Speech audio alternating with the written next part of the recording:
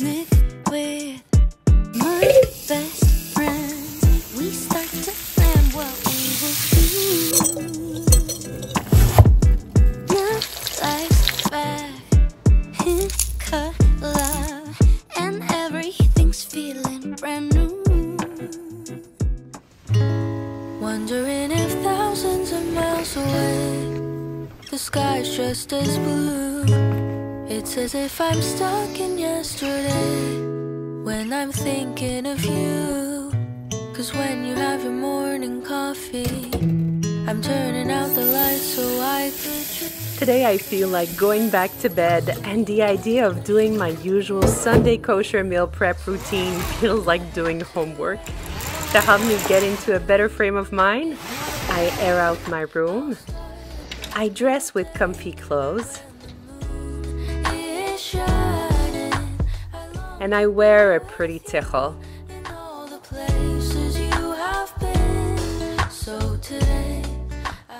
I put on my running shoes because it literally puts a spring in my steps. And I will start my day with completing a small task to have a sense of accomplishment. So I will make my bed. This way, whatever happens in the day, at least I will end my day in a fresh bed. Yesterday night I was so tired, so I let Roomba do the cleaning and I left the chairs on the tables and I also left the dishes to dry overnight. So my first step will be to do the cleaning of the kitchen. I. I'm never tired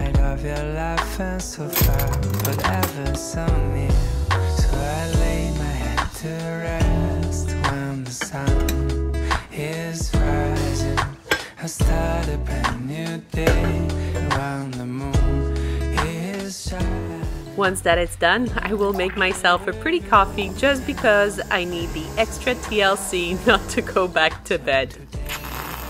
The order I placed yesterday night for everything I need for the week and Shabbat just arrived. And if you want to see my complete process on how I plan, prepare, and build my menus for the week and Shabbat, let me know in the comments below.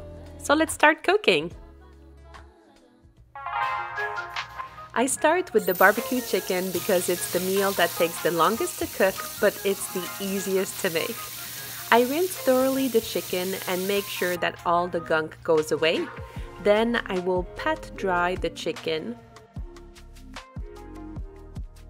and put it aside. In a bowl, I will put paprika, garlic, mustard powder, pepper, barbecue chicken spice, and salt. I will mix everything. I add about 2 tablespoons of olive oil on the chicken and massage the oil everywhere. I usually use half a can of beer, but here I did not have a can of beer, so I emptied a can of soda and filled it halfway with beer. But sometimes, in all honesty, I use soda instead of beer and it is as delicious. Add 2 teaspoons of the spice mixture, and if you're like me and you don't have a small funnel, simply roll a paper towel in a cone and voila! Add 2 cloves of garlic cut in quarters in the can as well.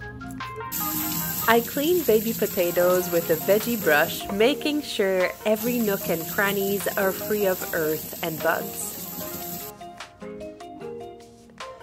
I add them to a 9 by 13 baking tray. I add some oil and I make sure that all the potatoes are coated with the oil. I add about 2 tablespoons of the spice mixture and I set them aside.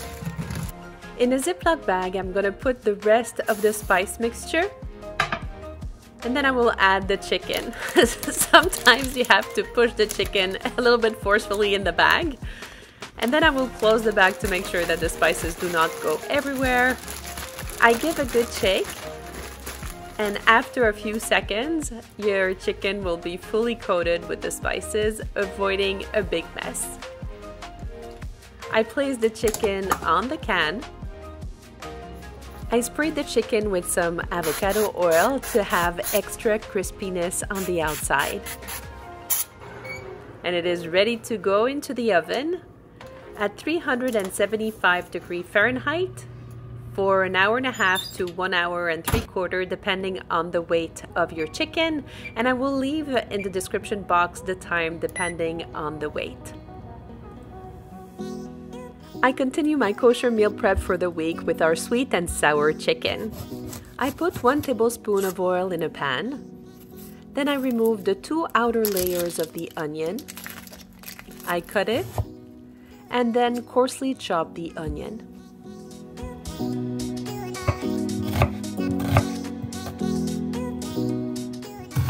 To make sure the oil is at the right temperature, I will put the handle of a wooden spoon in the oil and if it bubbles, the oil is ready. I will cook the onions until golden. While the onion is cooking, I will cut some green and red bell peppers.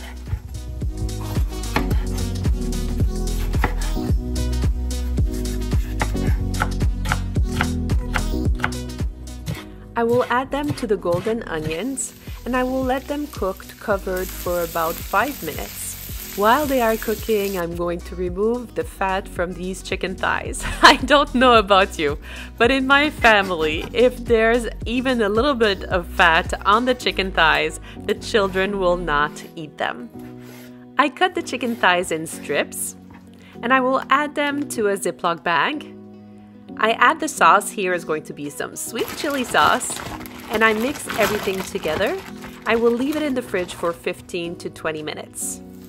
I remove the peppers and onions from the heat and usually I try to prepare at least two to three meals that are meat free during the week, but because it is Rosh Chodesh this week and we have the custom to eat meat on Rosh Chodesh, I will make an extra meal with meat. So I will do some schnitzel. I cut my chicken breast in three. For the coating, I'm going to use this gluten-free and also some shake and bake. In a bowl, I'm going to put two to three eggs and of course, before using them, I'm going to check them to make sure that there are no blood spots which would render the egg unkosher.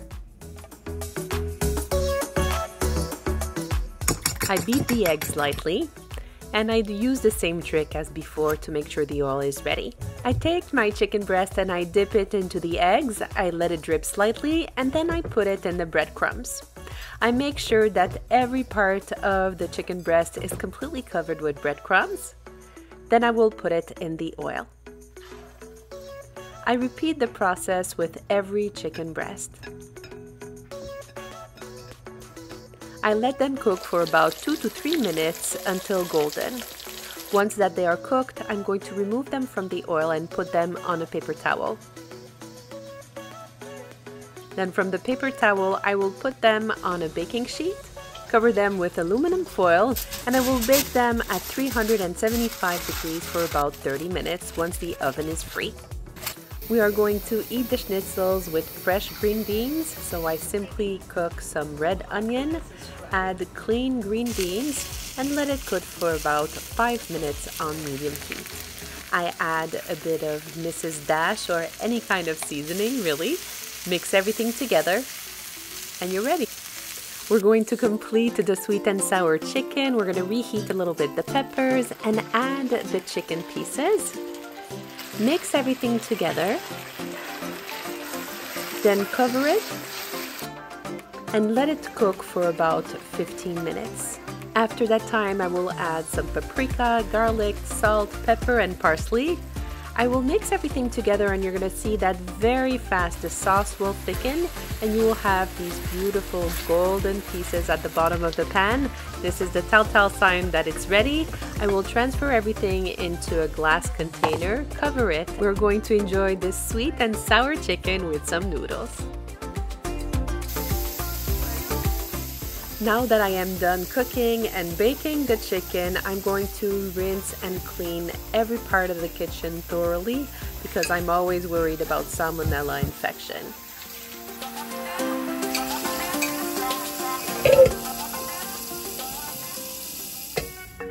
Because of the weather, I am craving some comfort food, so I will do some fish nuggets. I take tuna, then I mix paprika, garlic, parsley, and salt. I add three egg yolks. I add some breadcrumbs. You can use gluten or gluten free. I add oil and water. Then I mix everything together until I reach a thick consistency. With slightly damp hands, I'm going to form patties. I'm going to try to make them as uniform as possible to have even cooking time. I will repeat the process. And for the kiddos, I will make a ball. Then I will flatten it slightly to make like a fish nugget. I will beat thoroughly two eggs. Add my breadcrumbs to another bowl Add some oil to a preheated pan and dip my nuggets into the egg, then into the breadcrumbs, and I will make sure again that it's fully coated. Once that I'm done, I'm going to put them in the heated oil and I will leave them about one to two minutes until golden. I will flip them and I will let them cook for about another minute or so. Once they're fully cooked, I'm going to put them on a clean paper towel. I continue the same process with the fish patties and they will cook even faster so I will cook them about one minute per side. They are so delicious, they are so crunchy. Listen to this. And when you bite into them, they are perfect. We usually accompany them with a salad and some Turkish rice. For our Thursday meal, I want for us to eat a delicious but easy meal because I usually do most of my Shabbat prep on Thursday. I buy pre-made falafel balls and we add them to the pita with salads, cucumber, tomatoes, and trina, and it is so good. So this week we ate on Sunday for Rosh Chodesh the schnitzels and the green beans. On Monday the fish nuggets, salad, and rice. On Tuesday, the sweet and sour chicken and noodles. Wednesday, the barbecue chicken with potatoes and salad. And Thursday, the falafel and salad. I would love to know what is your typical menu during the week? Please write them in the comments below. I would encourage you to watch this Shabbat meal prep as a follow up. Thank you so much to have watched until the end. It means the world to me. Please write in the comments if you have watched so far. I love meal prep, so I know I was not alone. If nobody told you today, you are loved and you are enough just the way you are. Stay safe, stay blessed, and don't forget to frum it up.